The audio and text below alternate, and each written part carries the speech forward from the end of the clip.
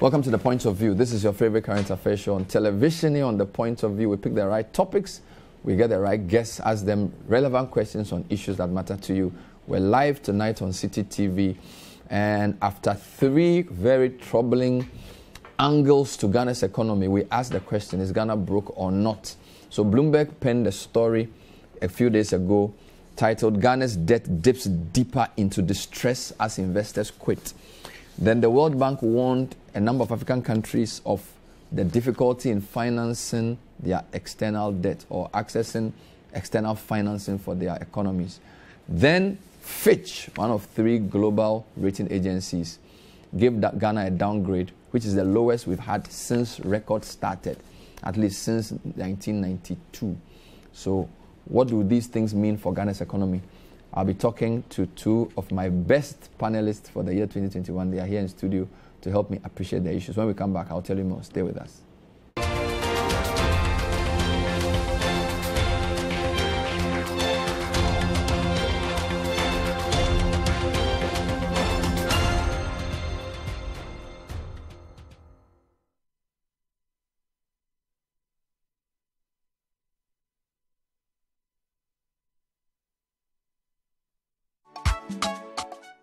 Welcome once again to Malaria 360.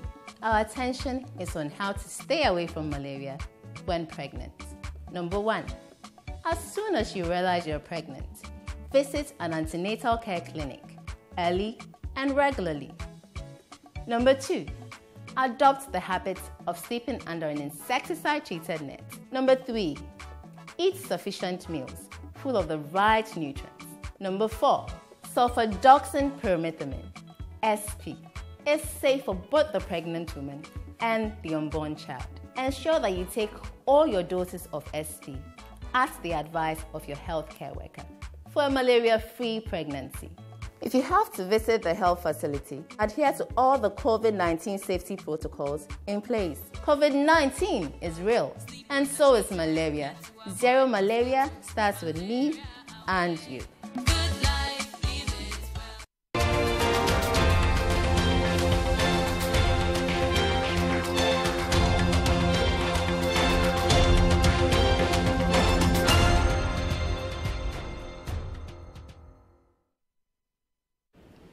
Welcome back. So tonight on a point of view, try and understand what some key institutions are saying about Ghana's economy, our debt position, our ability to pay, and we'll also understand what this means for our credit worthiness and possibly our finance. And my guest in studio, Toma Imihere.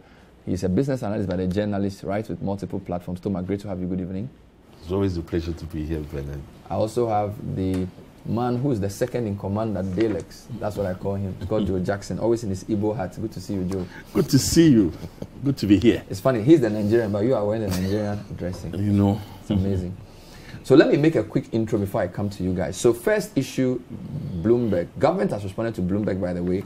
So I read government's response. But the, the Bloomberg story is not new. They wrote one in November. They did one in December. So this is the latest installment in those stories. The story says Ghana's debt dips deeper into distress as investors quit. Now, I won't read the full story, but basically saying that our sovereign debt spreads above 1,000 points, higher since April 2020. Our dollar bonds have the worst start to the 2022 among emerging markets. There's a chart they show. We are in very bad company. Lebanon, Tunisia, Ethiopia, which is at war, Sri Lanka, Tajikistan, and of all those, our bond returns perform the worst. Now, we also have the highest spreads. Now, when they talk of a spread, they're basically talking about what people lend to the best people and how much this. So basically, the, the, the difference between uh, what investors would give to people they consider to be blue chip borrowers and us. And it appears that compared to East African peers and indeed to global peers, international investors prefer to lend to us at a higher rate. That's what they mean by the spreads. So basically, that's what Bloomberg is saying. The story is pretty long. I'll read the finance ministry's response also briefly to you later on. But they're basically saying that the extra premium demanded on Ghana's sovereign dollar debt jumped to an average of 1,105 basis points from 683 in September. Now, our foreign debt is $27 billion. And it says we had the worst start to the year among emerging markets, extending our 14% loss according to the Bloomberg index. Now, what is happening? According to Bloomberg, investors are questioning whether Ghana, which is West Africa's second largest economy, can sustain its debt levels if the rise in borrowing costs shuts us out of international markets. Now, according to the Bloomberg story, our debt to GDP is now 78.4. Initially, they are written 81. Government contends with that. Some say six of one, half a dozen of the other. Be that as it may, there's concern over whether Ghana can service its debts. So that's the first story. The second story is the World Bank. The World Bank was not specific on Ghana, but they mentioned a group of countries Nigeria, Cote d'Ivoire, Ghana, and they call them low income or developing African countries. Now, the story I will read is from the B&FT of today, January the 17th. It says, World Bank warns of difficulty in accessing external financing. And it says the country will have a tough time borrowing from the international market this year, given its high debt portfolio.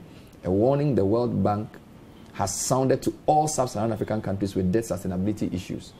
Ghana has long been classified by the World Bank and IMF as among the countries at high risk of debt distress. The country's public debt as of September 2021 stood at 341.8 billion cedis, 77.8% GDP. Of this amount, external component is given 37%. Meanwhile, the 2022 budget shows that government plans to borrow $750 million with the option of further increasing by another 750 million in all. That could be another 1.5 billion. Basically saying that total foreign financing, exceptional financing, which is things like IMF special drawing rights allocation, will amount to 9 billion cedis. Now, the World Bank is of the view that all sub-Saharan African countries facing debt sustainability challenges, which includes Ghana, will find it tough. This is the emphasis. Raising the needed finances from external sources, implying that Ghana's plan to raise up to $1.5 billion from the international markets is in danger. So, first, we are being charged a premium for borrowing from the international markets.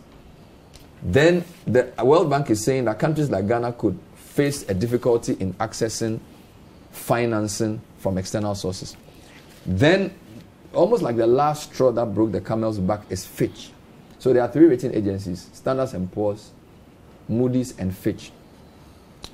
Now, this story is making rounds everywhere. The Fitch story says uh, Ghana. If I let me the graphic version, but the, the, this is the, the Fitch story. It says an international ratings agency has downgraded the country's long-term default rating to B negative over concerns that the country faced increased risk in servicing its debts in the medium to long term. The agency cut the country's long-term foreign currency issuer default rating to B negative from B with negative outlook last week. It blamed the development on the country's loss of access to international capital markets in the second half of last year, which meant that it would be unable to borrow from the international financial markets this year. Now, Ghana's effective loss of market access to international bond market increases risk to its ability to meet medium and long-term financing needs, it said. However, in a statement, the Fitch said the country would be able to meet its external debt service without relying on new borrowings in the international market. And then they give some numbers. Okay, let me show you a couple of quick charts to make this clear. So, of the three rating agencies, traditionally Fitch gives us the best ratings. Okay, let me show you the rates, the, the, the, the scale of rating first. So there's Standards and Poor's, Fitch, and Moody's. And basically, you are either investment grade or speculative grade. From the best being high grade credit, very high grade, good credit, speculative grade, and then you come to things like very speculative and then substantial risk in default. So you notice that the green at the top is the best rating, then it comes down, the latest rating puts Ghana one step ahead the red. So red is basically you have triple C plus, triple C, triple C minus, double C, C, and then D. You are entering junk status. So Ghana is essentially one step from entering a place where nobody can lend to you. All right. Now, why is this significant? Let's show you how Fitch has been rating us since 2003. Since 2003. And this is by Simon's work, I, I, I would need to say. He, he, put this together. So December 2003, we had a B positive. So this is Kufuor, HIPC time. May, March 2005. So I'm starting from the bottom and working my way upwards. So that was March 2005, B plus positive. February 2006, Kufuor second term, B plus positive as well. February 2008, final year of Kufuor, B plus stable. Right? March 2009, first year of Mills, B plus negative. So it's still B plus, but it's negative. So there, there's the rating and the outlook. The rating talks about essentially where you are. The outlook talks about what will happen. Okay. Look at March, September 2010. This is still Mills. B plus stable, not too bad. February 2013, B plus negative. So this is Mahama, first Mahama, B plus negative. Then you have October 2013, second Mahama rating, B stable. So it's getting better, but it's B. So the rating is lower, but the outlook is better than negative, right? March 2014, this is heat of doomsday crisis. B negative, Seth Terkper, scrambling, looking for help everywhere, sinking fund and things. March 2014, another B still negative. But then by Nana Akufo-Addo's first time, of course, this is historical now, May 2017, B stable.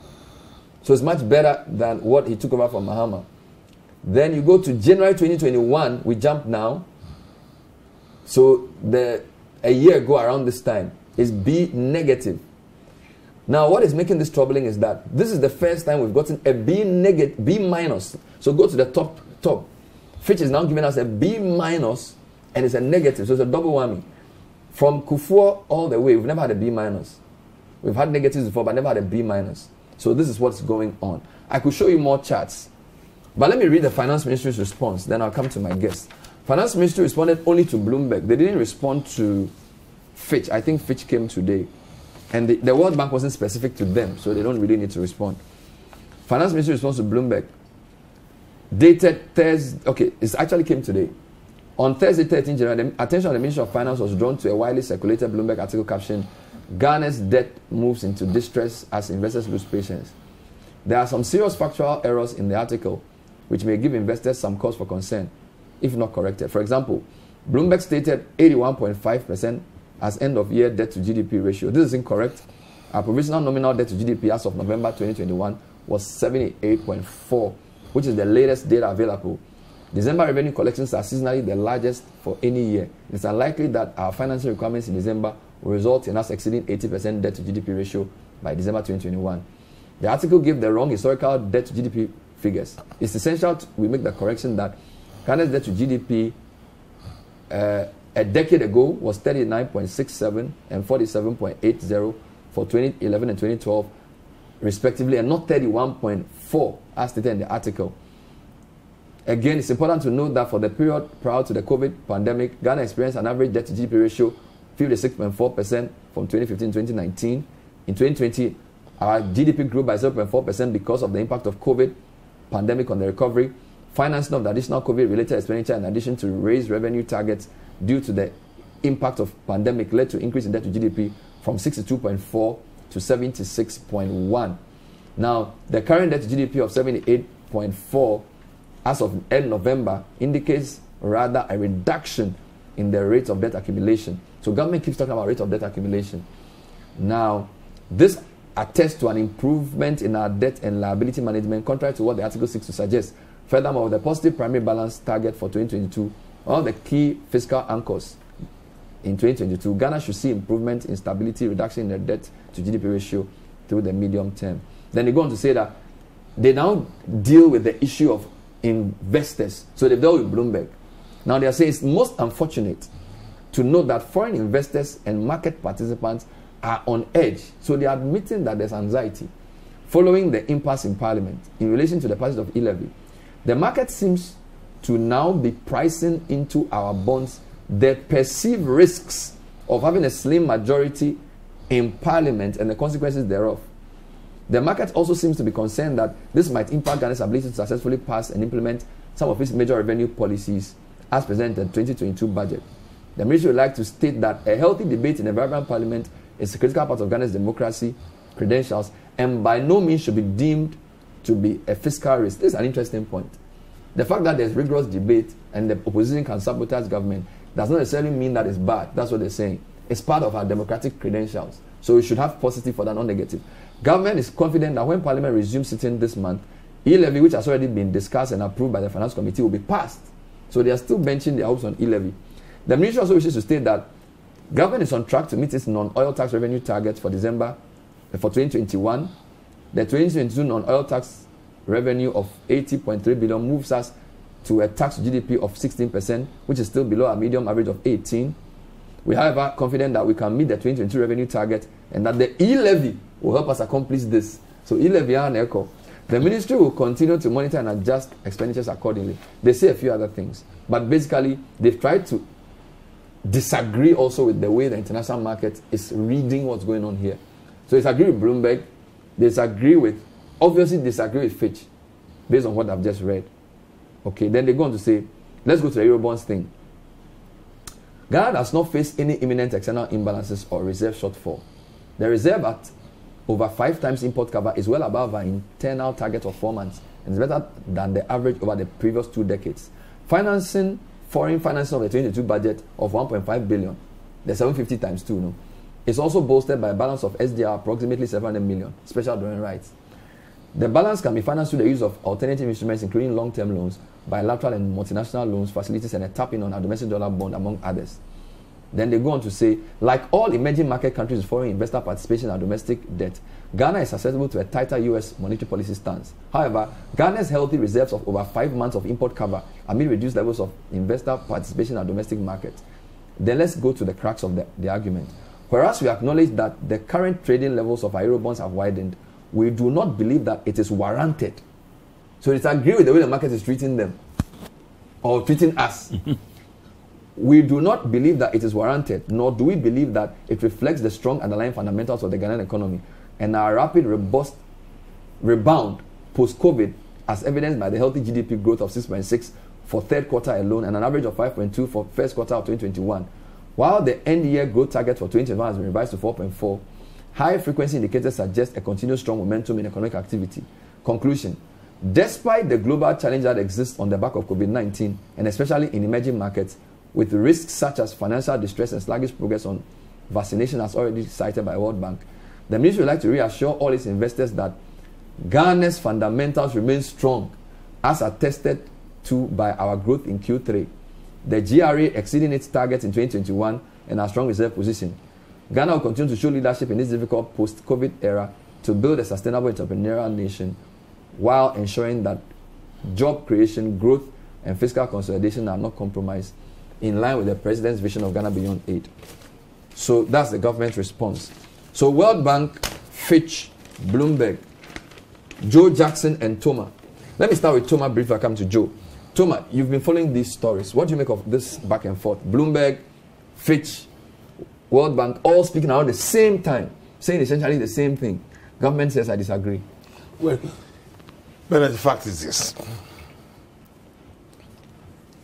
whether government is right or government is wrong, the bottom line is this the international investment community are far more likely to listen to Bloomberg, Fitch, Moody's, and Standard and Poor's, who are on the same page than government's Ministry of Finance, which is on a different page.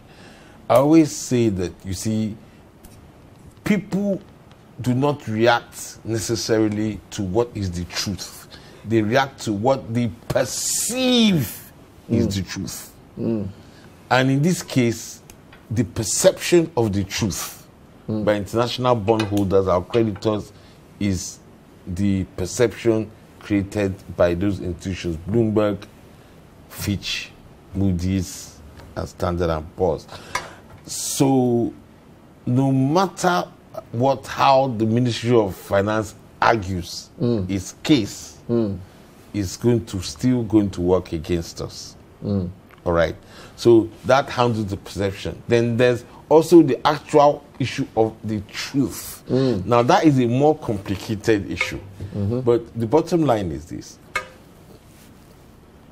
We're in a lot of trouble. You notice that the Ministry of Finance talks about the fact that our end of year debt to GDP ratio is not um, 81. 81 is 78.4. Now we are talking about what the difference of 300 basis points. Is that the difference between an economy that is sustainable and one that is not? I don't think so.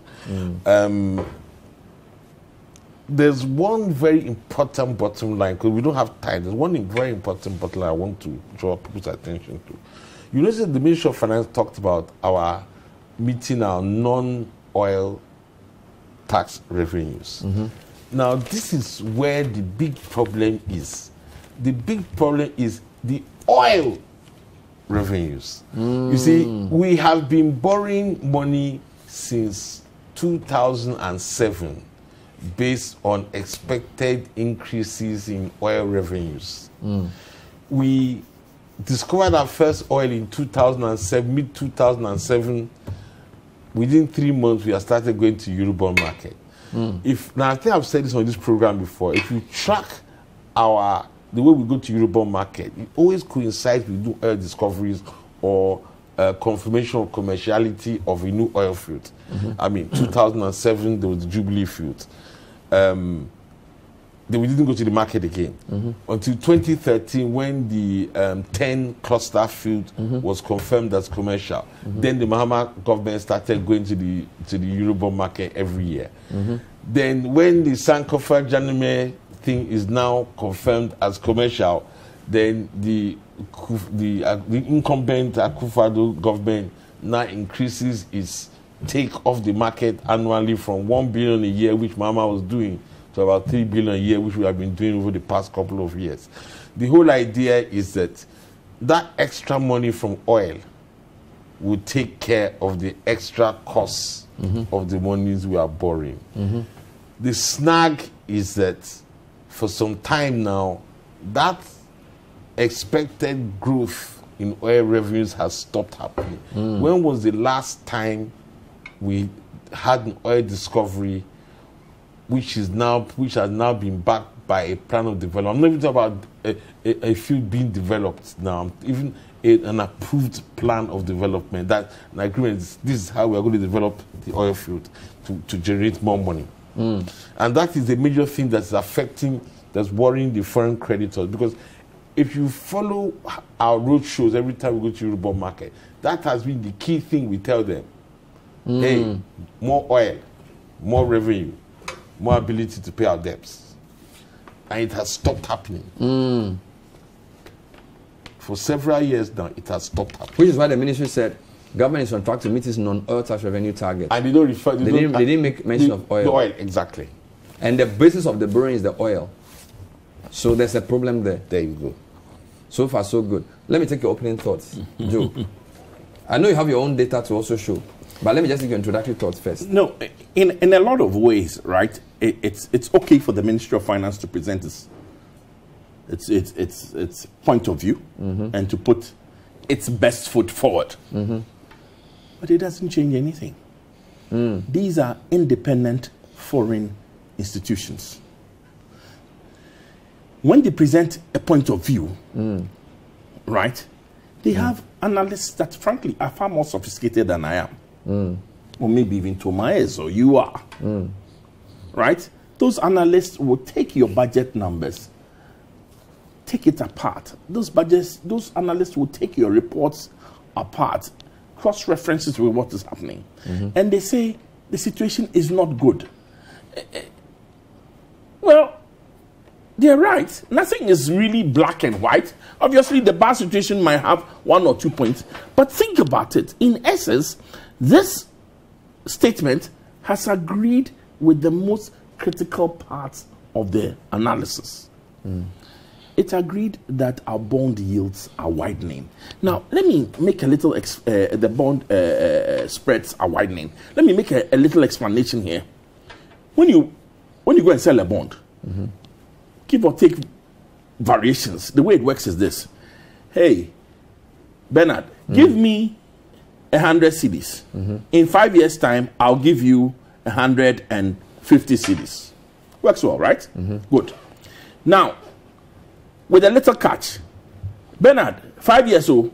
Before five years, if you want your money, go and sell it in the market. Don't come to me.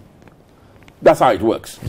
Now, when you go to the market and you say, I bought a bond from Joe Jackson two years ago. He says, You give me 150. Thomas, will you buy? Thomas says, mm, Joe, now he's broke. oh. His stomach has slimmed down. So he says, Give me a discount because the time you bought it, Joe was looking fat and wealthy. Now he's looking slim and I don't like the way he looks. He's broke. So instead of me, instead of Thomas getting a hundred cedis, you say, Thomas, I only give you 80 cedis. I'm using really Basic example. a basic example. I'll give you only 80 cedis. Then Thomas says, okay, it's okay. You, the way things are going, you give me my 80 cedis and let me walk and you hold the risk. And that is how the yield now goes up. Now that is how that's and he says that the spread or the discount Between- that you have to offer to be able to sell your bond is growing. So the 100 to 80. So if In your i- example. if it was started at 100 to 95, then it went to 100 to 90, then it went to 100 to uh, uh, uh, uh, 80. 80. So when you look at what the original yield should be, there's some gap, another line going up that is growing and growing and growing. That's the bond spread. That's the bond spread. So the bigger it is, the worse. Yes. So no matter how you look at, matter what the Ministry of Finance says, the fact that investors now value our bonds less than and uh, in, in- what the in a sense, when they were all, issued. all Bloomberg or these other agencies are saying are something that the investors have been saying for a long time because the bond didn't grow in the last week. The spread, the yield didn't grow in the last week. They've been growing over a period of time. In fact, they've been growing pre-COVID actually. Thank you. They've been growing pre-COVID because we've been our we've been borrowing and our debt sustainability is getting shaky. You see, and then we have to admit one thing. First, money was cheap. The US Treasury was essentially rates were at the lowest we've seen in decades. Now, the US Treasury, for its own issues over uh, uh, uh, uh, uh, liquidity, excess liquidity, etc., is increasing yields. So now, should I give? Should I take a bond from Ghana, where now they are looking shaky and shakier, mm. or should I take some stable income from the US? So some of it is also the world is is is is looking at everything and they, and they are not those who buy our bonds they are not sentimental they don't really care they are not partisan they don't care about ndc or npp they just give this analysis uh, analyst and say make some analysis of ghana. Will it work? Yeah the risk is not too bad. Price the risk. Let's do it. Price the risk no no no no no. Now it's getting too bad. Yeah. Eh, eh, you got to look these guys are not sentimental. They're not partisan. They're just telling us and anyway why are we so shocked?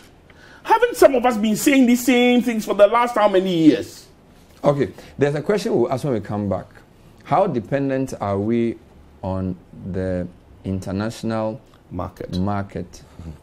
What alternatives are there for Ghana? That's another question. Is it time to turn our attention back to the IMF? And will the e levy solve the problem? These are some of the questions we are raising. This is the point of view. Stay with us. Welcome back to the point of view. Tonight we're trying to put a barometer on Ghana's economy. Where are we? Fitch has downgraded Ghana's credit rating, the lowest we've had since 2001.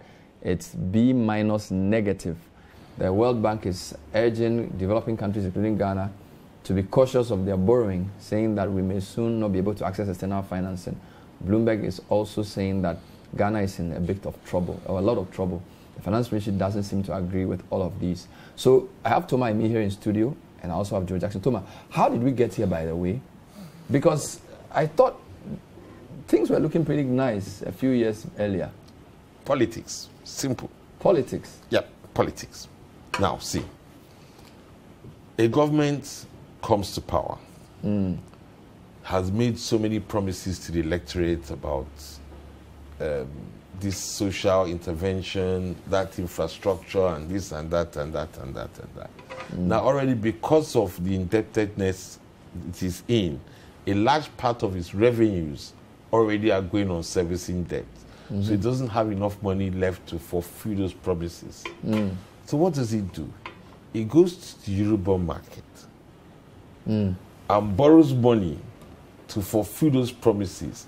Now, don't forget, the Eurobond market is not like in those days when we we're taking concessional finance, where the IMF and the World Bank would have to convince them about what we're going to use the money for, mm-hmm. that the money is going to be used properly.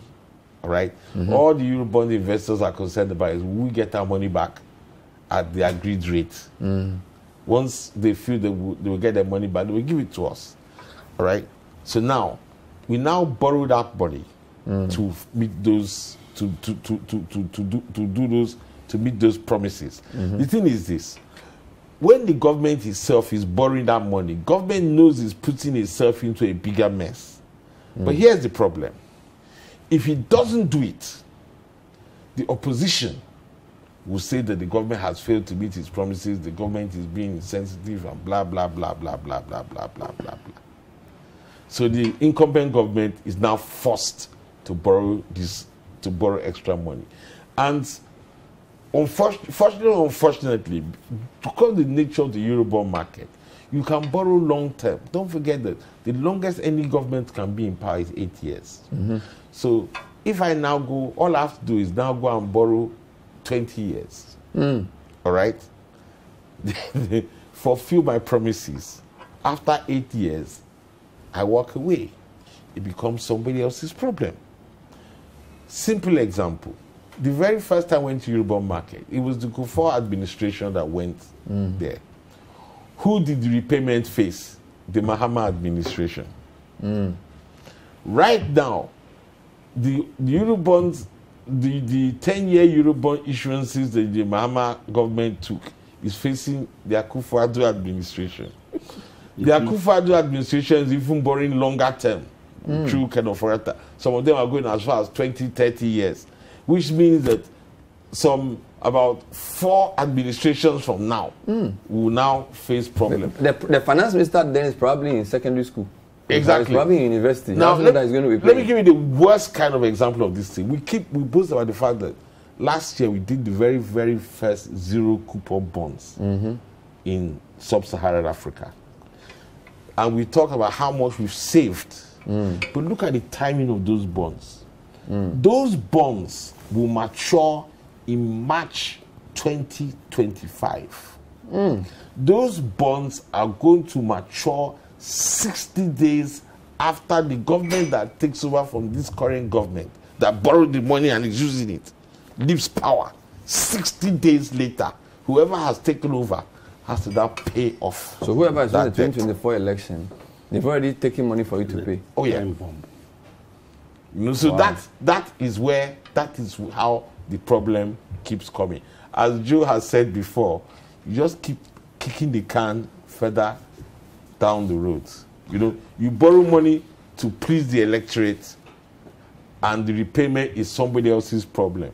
If you don't borrow that money to please the electorate, the opposition is going to convince the electorate that you are a wicked government, you're an incompetent government. That's why you're not able to do the things you claim you wanted to So, do. Joe, let's come back to you. So, the international market is not favorable. Does that mean you are broke? The fact that you can't borrow, go for euro bonds or other types of bonds, does that make you broke? No. So, so are we broke? Unfortunately, yes. You see, being broke mm. has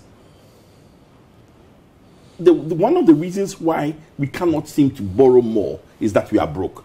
And being broke is very simple. If you are paid 100 cedis mm. and you pay five, uh, uh, 50 CDs for your domestics uh, for to pay interest on the debt you owe, and you pay 55 CDs for your domestic staff, how much is left? You are in the negative, Negative five. already. Five. You see, if you look at, you break down our numbers.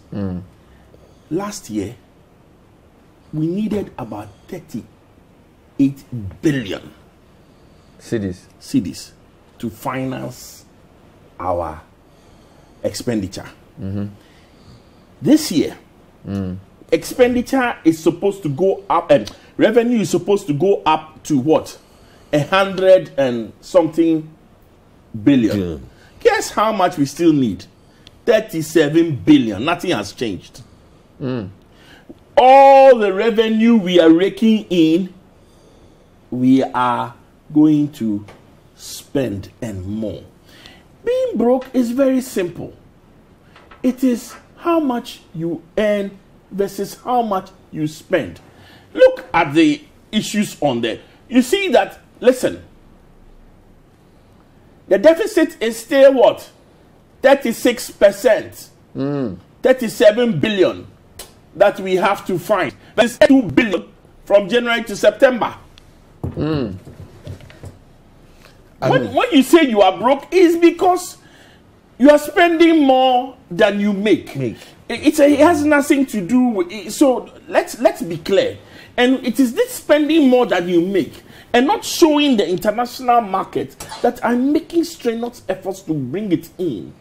That is why we are broke. And that is why the government will tell you, I need that e levy to work. But the E-levy, how much will you even get from it? E levy at best 7 billion Billion. cedis.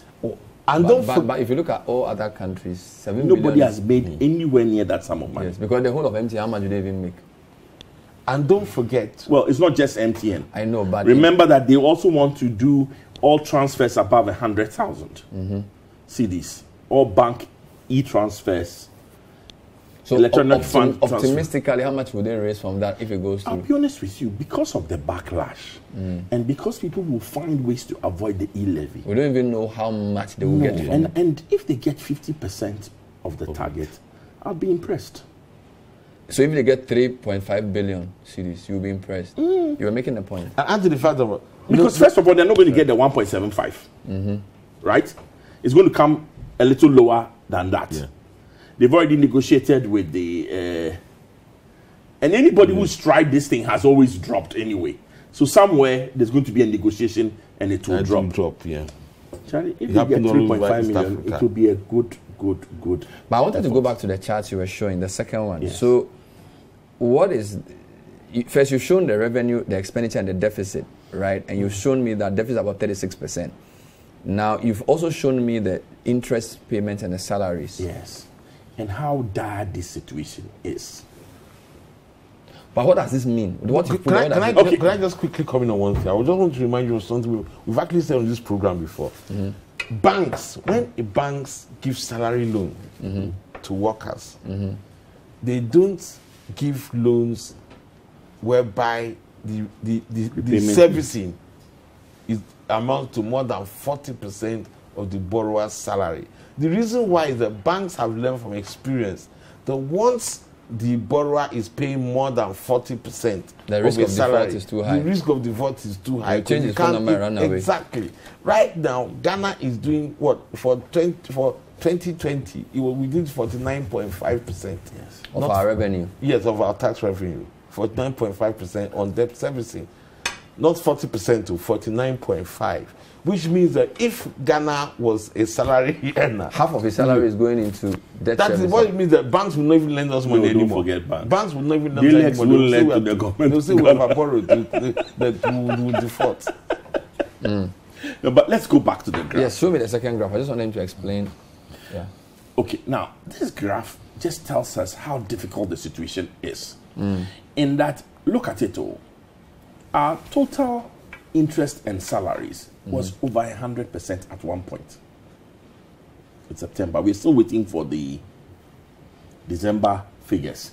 The only thing we can tell you is that the income went up to 57 point three two, which I say, hooray, well done, Jerry. That's the best news you've given the government in a long time, and and and they have to be commended. But at the same time, look at these numbers clearly. We are expecting a jump from fifty-seven point three to hundred point five. Can't happen. That's where the trouble is.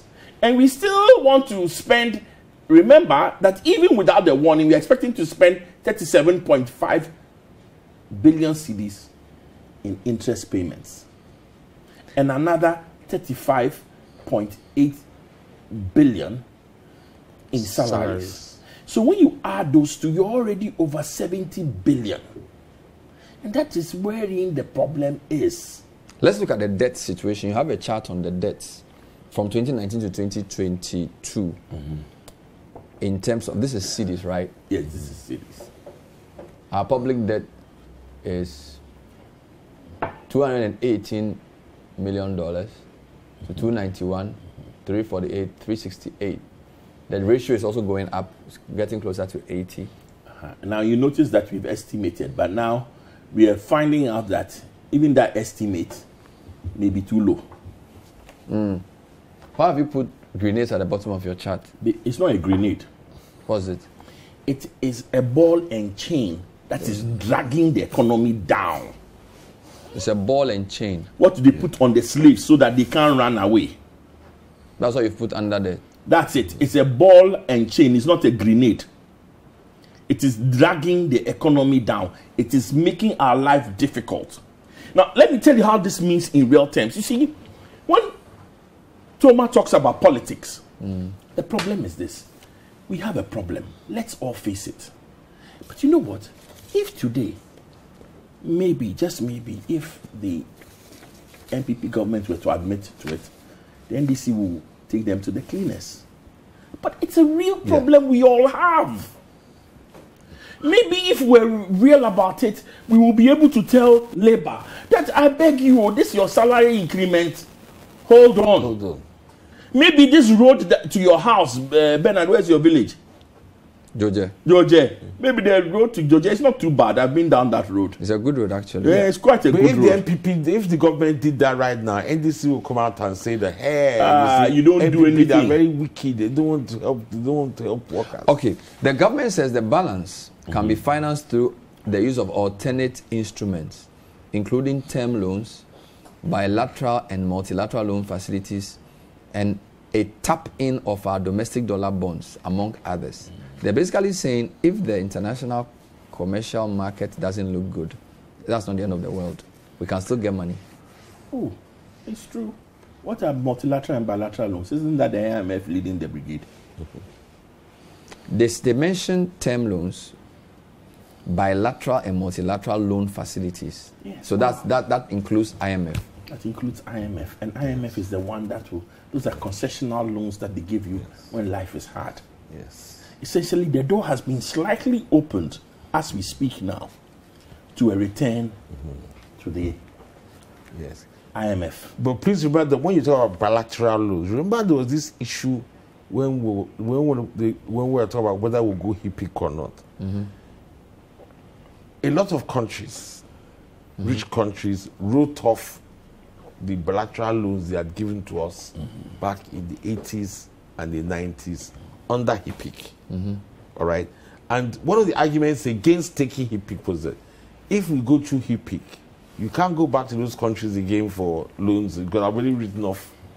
And that situation is facing Bear us. in mind, right? As for debt write-offs, you have a problem.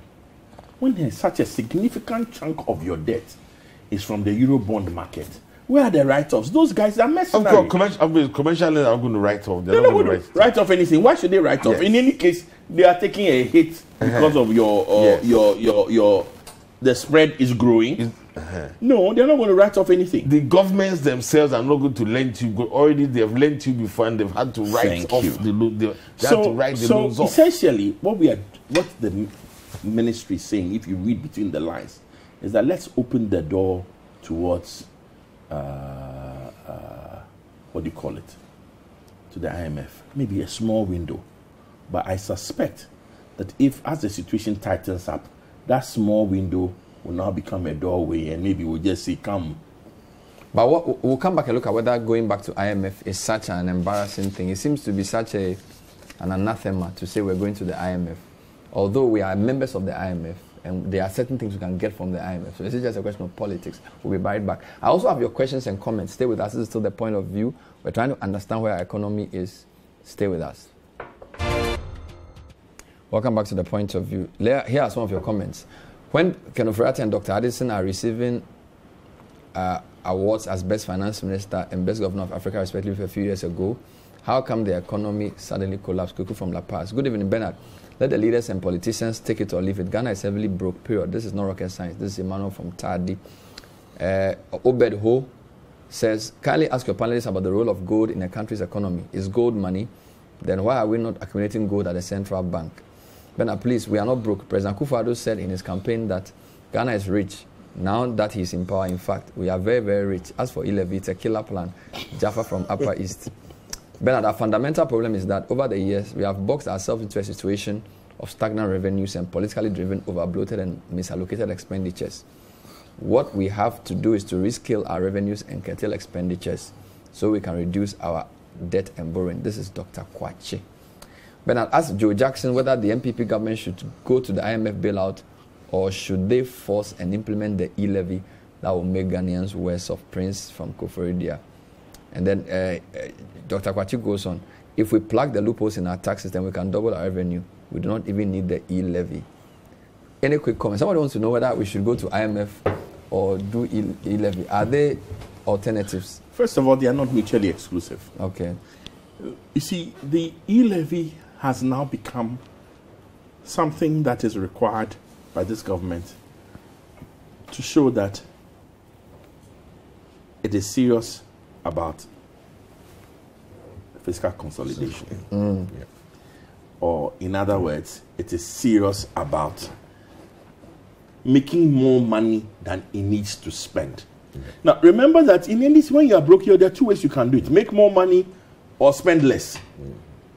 Right? Mm-hmm. Politics make it hard to spend less. Mm. Also, there are some locked in expenditures that you can't afford to say. You can't afford to say you won't pay salaries. You can't afford to say you won't service your debt.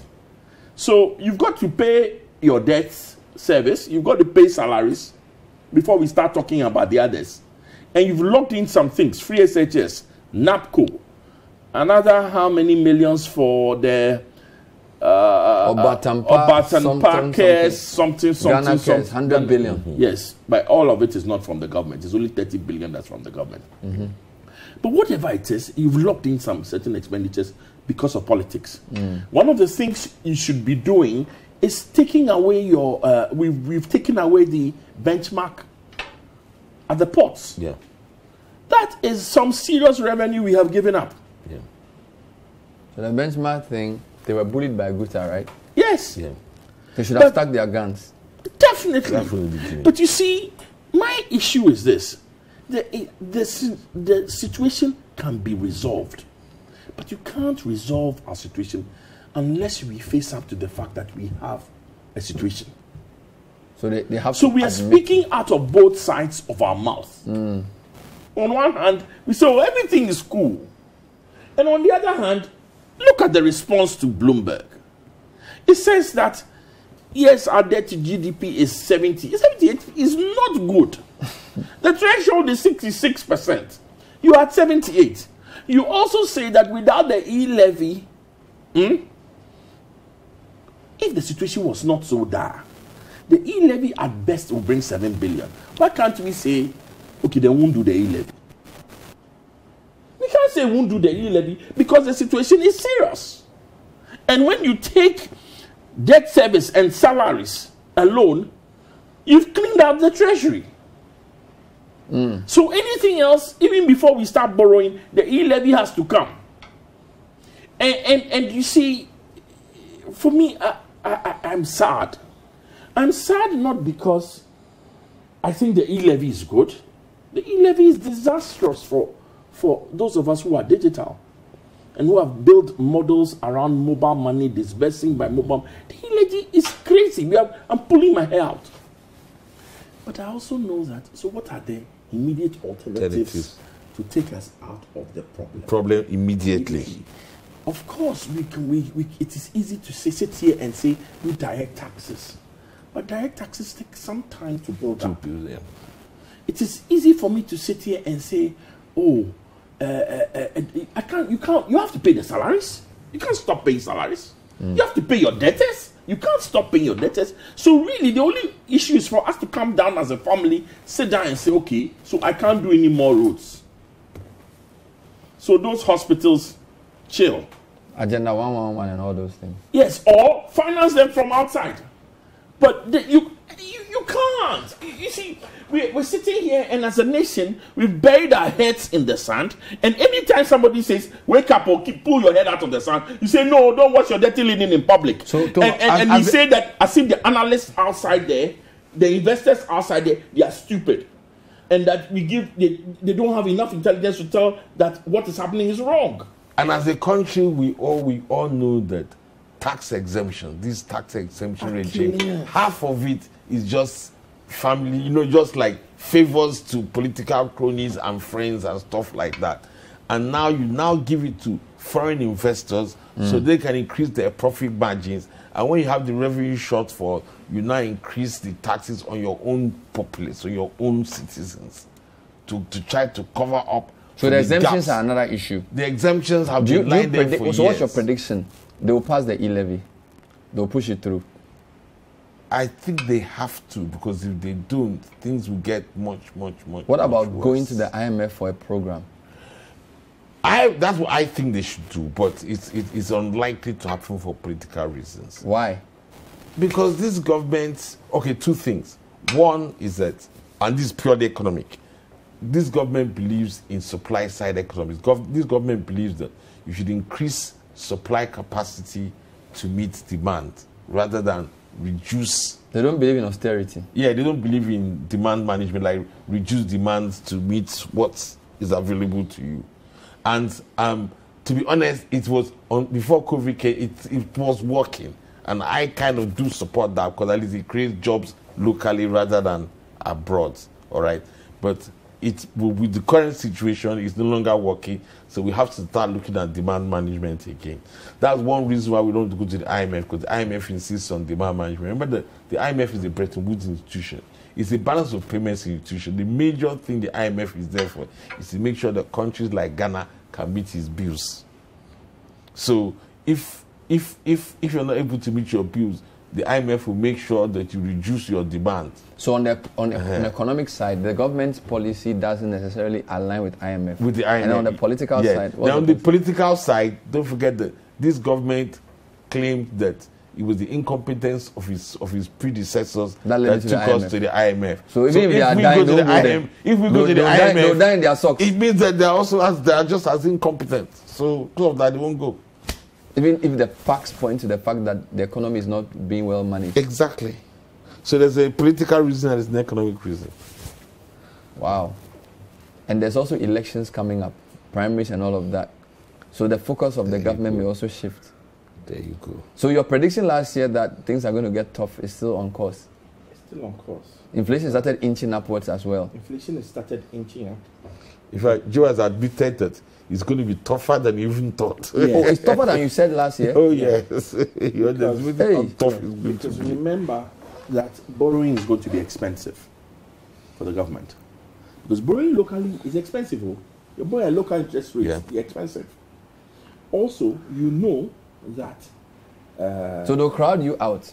People like you who are in the private, who are, they'll crowd the banks out. they will raise. That's what's They'll going to crowd happen. private sector out of. That's what's going to happen now. Because don't forget now, you can't go to Eurobond market.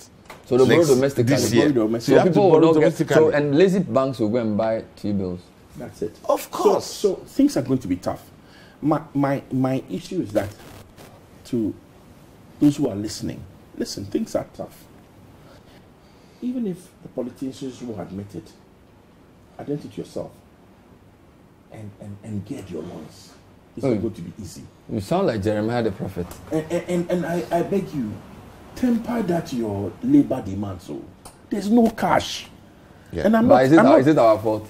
Eh, but But if labor, la labor has to be paid by government to they are buying their own cars and fuel. well, of course, if you Why is want, your labor? But I'm just saying You that can insist there's on no higher in- income. on but higher the income, more they you can print the insist on these you. things, the harder it is for all of us. yeah. But you can't blame labor for that. They are No, working. I'm not blaming the, the them. workman I'm to not blaming them. All I'm saying is They should that temper their expectations. temper your expectations. The only way labor is going to get more money now is if they go and print more money. So, of course, you get the money is paper money. Inflation. They should will reduce the salaries of the ministers and the MPs It was and only- pay the teachers a- and the That's- nurses. Listen, That's where it should it is start a from. hole in the bucket. The, what the salaries of the MPs and their cars do is not because it costs us that much in the grand scheme of things. It is because it, it irritates us. You know, as as a can, yɛsi edidija ɛni muna nenam you understand it when you eat Edidija, eh, eh, counts- muna when you when you are when i'm hungry and you are eating. and you are eating and living good it it annoys It's me. Edidija, any muna. Another thing you have to do, Bernard, going back to where I started from, Our time you is up. need to quickly get your oil field. Those discoveries that have been made, you need to get those oil fields up and running. All right, we'll come back and talk more. Hopefully, I'll get to it for the next quarter. Joe Jackson and Thomas. We're initially supposed to do a preview of the economy, but because of all the confusion around where we are, we decided to focus on this. Hope you've learned something new. Thank you for watching. The Business Dashboard is next. We'll see you next time. Bye bye. The Point of View is brought to you by Cowbell Coffee. Cowbell Coffee. Taste it, love it. Kel Charcoal Toothpaste. Kel Charcoal. Happy smile. Bell Aqua Active. Bell Aqua Active. Stay true to originality.